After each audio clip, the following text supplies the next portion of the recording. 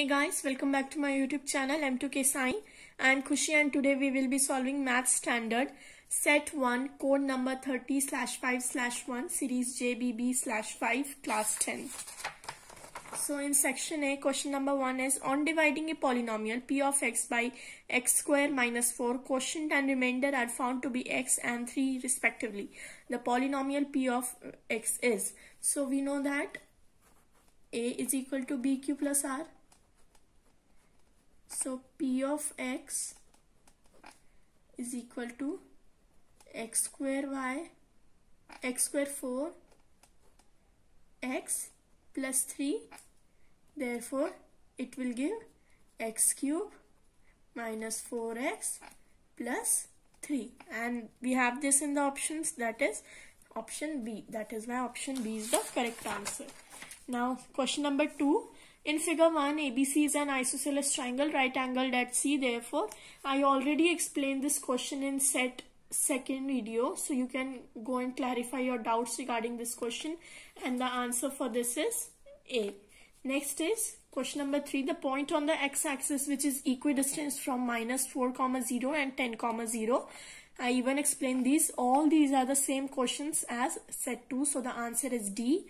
For odd type question, the center of a circle whose endpoints of a diameter are minus 6, comma 3 and 6, comma 4 is, answer is C. Next, the value of k for which the quadratic equation 2x square plus x kx plus 6 is equals to 0 has equal roots. For equal roots, we know that b square minus 4ac is equals to 0.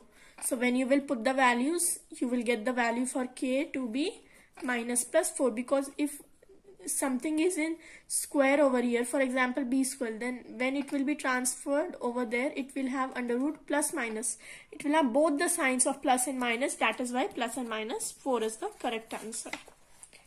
Next question number 5 so for this you need to write t1 comma t1 minus d. So when you will see do that you will find that c is not an ap next the pair of linear equations this linear equation is the answer is B inconsistent if consistent. If you want to know how the answer came then you can check out the set 2 question answers video.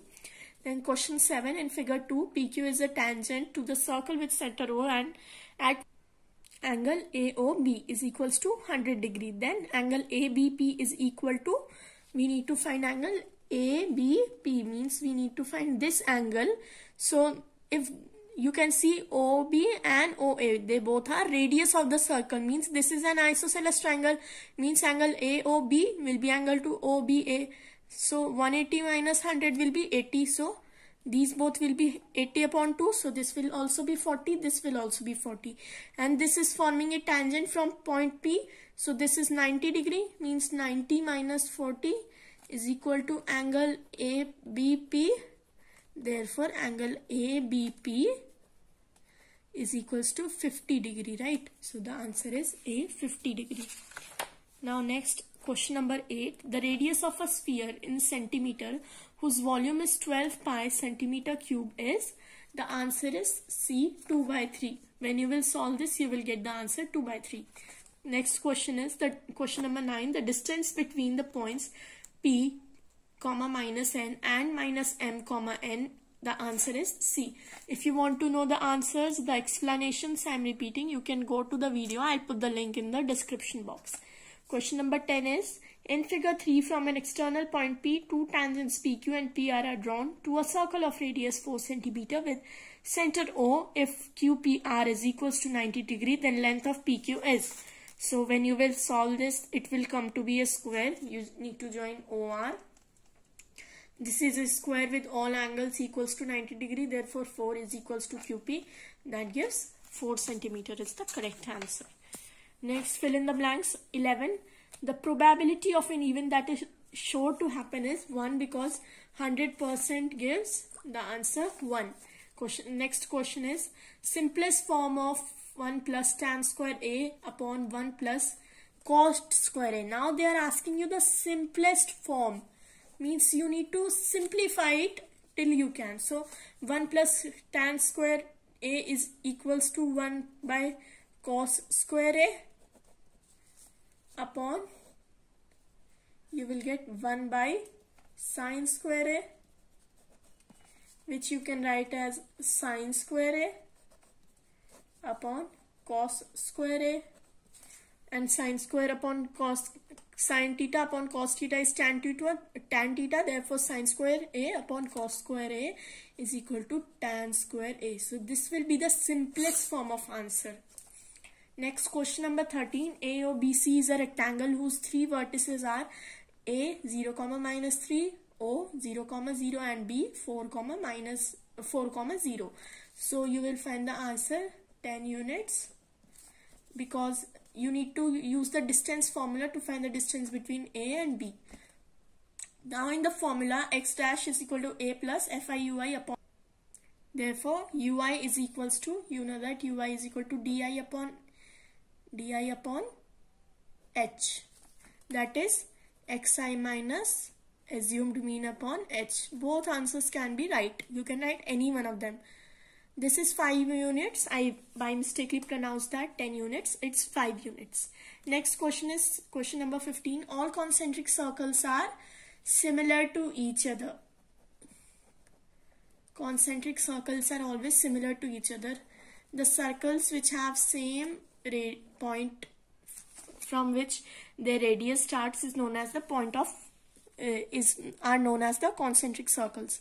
Now find the sum of the first 100 natural numbers I already explained it in set 2 it is 5050 by formula S of n is equal to n upon 2 a plus l. In figure 4 question number 17 in figure 4 the angle of elevation of the top of a tower from a point C on the ground which is 30 meter away from the foot of the tower is 30 degree.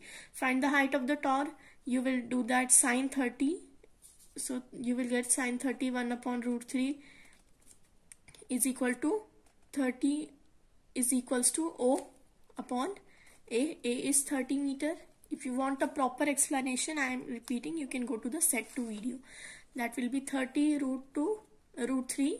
When you will rationalize this, you will get 10 root 3. The answer is 10 root 3 meter. Next question is the LCM of an of two numbers is 182 and their HCF is 13.